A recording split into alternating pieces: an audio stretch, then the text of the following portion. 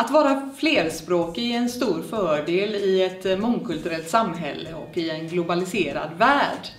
Här i Stenungsund så har vi ett ökat antal invånare och kommunen speglar just det mångkulturella samhället. Och det innebär att vi behöver ha skolor som är väl rustade och utrustade för att kunna möta upp på ett bra sätt. Och också för att kunna hänga med i utvecklingen bra framöver. Språket är ett redskap. Det är människans viktigaste redskap för att tänka, kommunicera och lära. Och det är genom språket som människor uttrycker känslor och tankar och förstår hur andra människor känner och tänker och utvecklar sin identitet. Stenungsunds kommun satsar på våra barn och ungdomar. Inte minst de som har ett annat modersmål än svenska, inklusive elever som tillhör någon av de nationella minoritetsspråken samiska, meänkieli, romani, shib, finska och jiddisch. I nuläget finns det närmare 400 elever i grundskolan som deltar i modersmålsundervisning och 57 olika språk i kommunen. Därför finns enheten för flerspråkighet där vi arbetar för att alla flerspråkiga elever och de nyanlända i Stenungsund ska få den undervisning och det stöd de har rätt till.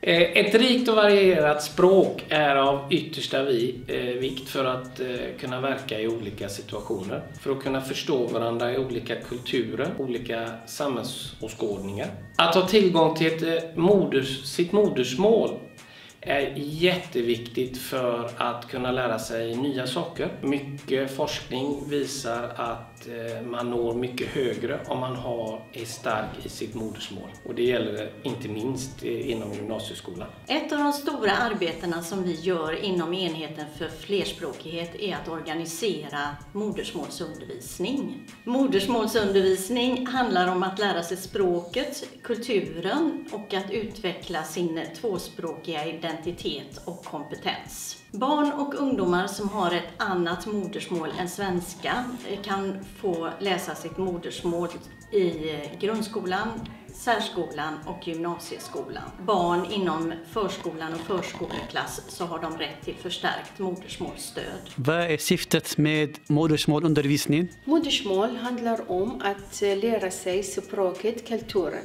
samt att utveckla tvåspråkliga identitet och kompetens. En viktig del är att göra jämförelser mellan Sverige och området där modersmål talas. Eh, språkligt eh, som eh, kulturellt. Forskning visar att flerspråkiga elever når målet i högre uppfattning om undervisning och kunskapsutveckling sker parallellt på modersmål och svenska. Modersmålet i grundskolan är ett eget ämne med egen kursplan. Ämnet är frivilligt. Om eleven är anmäld till lektionerna måste han delta. Betyg i modersmålet ges från årskurs 6 till 9 och i gymnasiet. Vilka har rätt? Vilka krav finns för att kunna delta? En elev kan få modersmålundervisning om en eller båda vårdnadshavarna har ett annat språk än svenska som modersmål. Eleven ska ha grundläggande kunskaper i det aktuella språket. Eleven ska använda språket dagligen i hemmet. Minst fem elever önskar denna undervisningen inom kommunen. Att lämplig lärare i det aktuella språket finns tillgängligt.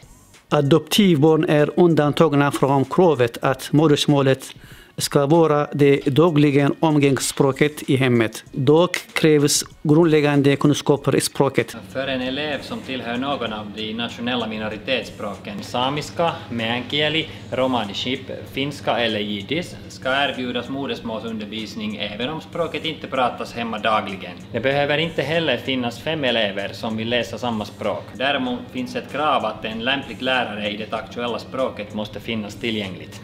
Andra viktiga information. Ansökan görs eh, endast en gång under grundskoltiden.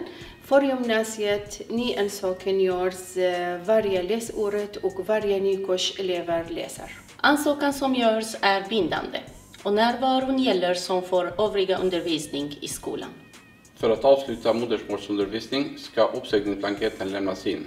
Blanketten hittar du på kommunens hemsida samt skolans expedition.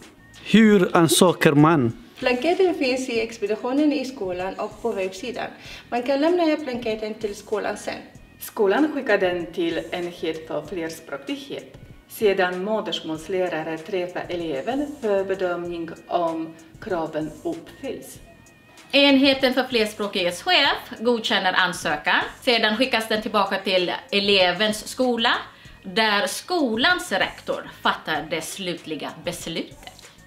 Vilka språk finns nu på enheten för flerspråkighet? Dessa har vi kinesiska, nederländska, ryska och taiwanska. Pashto, dari, urumu. Engelska, filippinska, tagalog. Armeniska, kroatiska. Albanska, serbiska, finska. Franska, somaliska. Arabiska, spanska, kurdiska. Polska, tigrinska. Persiska, bosniska. Vietnamesiska, portugisiska. Så kom med era ansökningar! Vi ses!